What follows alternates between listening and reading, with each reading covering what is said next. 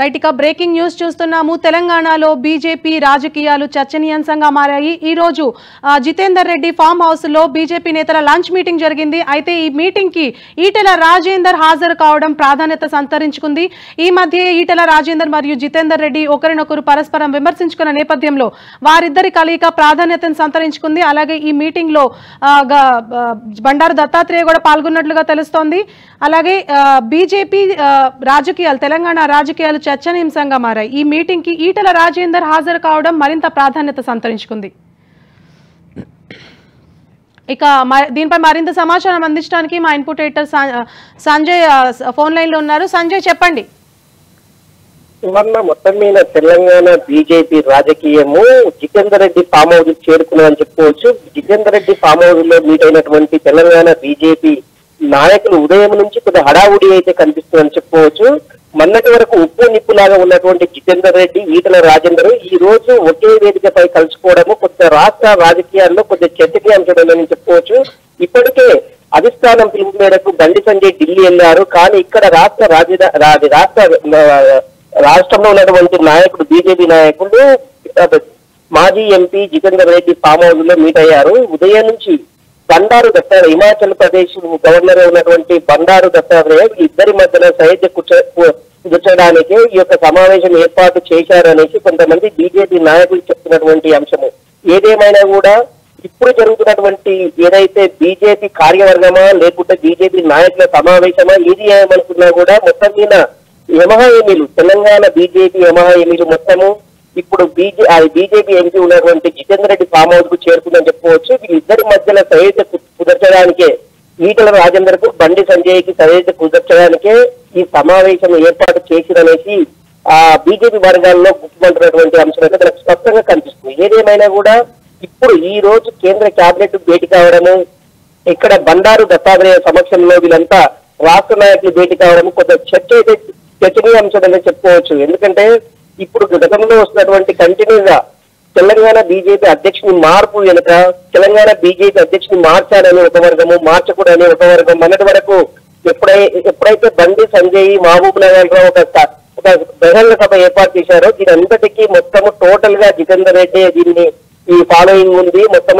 అది అంటే జనాలని సమీకృతం చేయడం ఇదంతా బీజేపీకి సంబంధించినటువంటి ఆ, సభను జితేందర్ రెడ్డి సక్సెస్ చేశారనేసి ఒక ఈడల వర్గం అంటుంటే ఈ బండి సంజయ్ని ఉంచాలి పార్టీ అధ్యక్షునిగా అనేసి జితేంద్ర వర్గం అంటుంటే దీన్ని వ్యతిరేకిస్తూ ఆ, మొదటి నుంచి వ్యతిరేక వ్యతిరేక వ్యతిరేకంగా ఉన్నటువంటి ఈటల వర్గము ఈ రెండింటిని ఒకే తాటిపైకి అది చేర్చి ఈ వివాదాస్పద వ్యాఖ్యలు చేయకుండా రాష్ట్రంలో ఉన్నటువంటి బీజేపీ నాయకులు ఒకే తాటిపై ఉండాలి.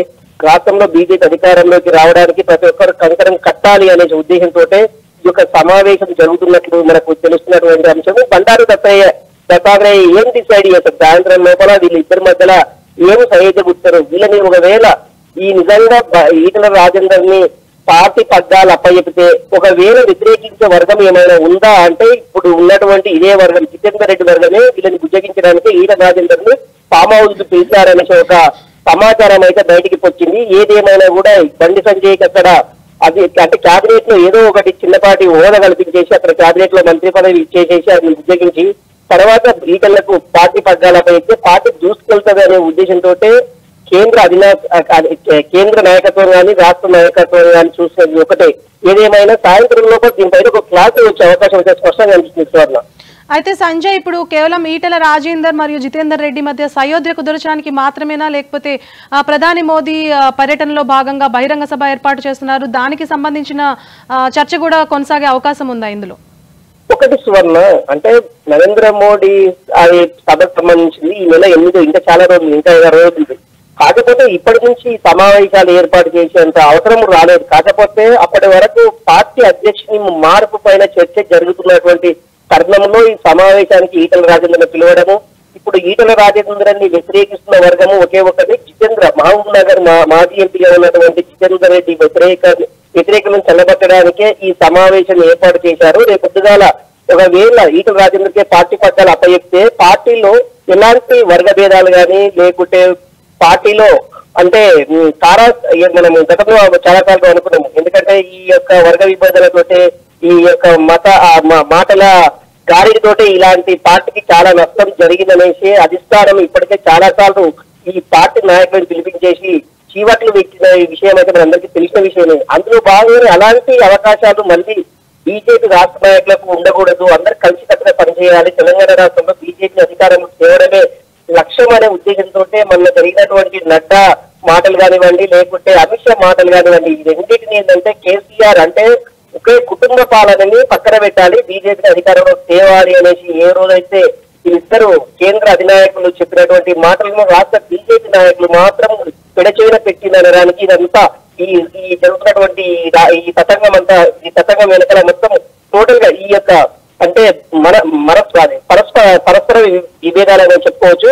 మొత్తం ఏదేం జరిగినా కూడా ఇప్పుడు జరుగుతున్నటువంటి ఎనిమిదో డేట్ నాడు నరేంద్ర మోడీ రాక ఇక్కడ బండి అది బీజేపీ అధ్యక్షుల మార్పు వెనుక కొంత కీలక సమాచారం సాయంత్రంలో నిజంగా ఏం జరుగుతుందనేది మనం అంత ఈజీగా చెప్పలేము. ఎందుకంటే ఆ నాలుగు నెలలు మాత్రమే తెలంగాణ ఎలక్షన్ ఎలక్షన్ ఉన్నాయి. ఈ నాలుగు నెలల్లోనే అధ్యక్షుని మార్చి కొత్త వారికి ఇస్తే ఎలాంటి పరిణామాలు ఉంటాయి ఒకవేళ బండి సంఖ్య కొనసాగిస్తే ఎలాంటి పరిణామాలు ఉంటాయని దాని మీద కేంద్ర అధినాయకత్వం అయితే కొంత కసరత్తు మొదలుపెట్టింది. ఆ కేంద్ర నాయకత్వం పెట్టిన కసరత్తుని బండారు దత్త దత్తాత్రేయకు ఏమన్నా దీనిపైన వీరు సమావేశమై వీరితో చర్చించమని కబూర్ కబూరు పంపిందనే విషయం అయితే ఇంకా క్లారిటీ లేదు. ఏదేమైనా కూడా ఇప్పుడు ఉన్నటువంటి ఈటల వర్గాన్ని వ్యతిరేకిస్తున్న వర్గాలతో బండారు దత్తాత్రేయ అదేవిధంగా ఈటల రాజేందర్ కొంత చర్చలైతే జరుగుతున్న అంశం అయితే స్పష్టంగా కనిపిస్తుంది Suvarna. Right thank you Sanjay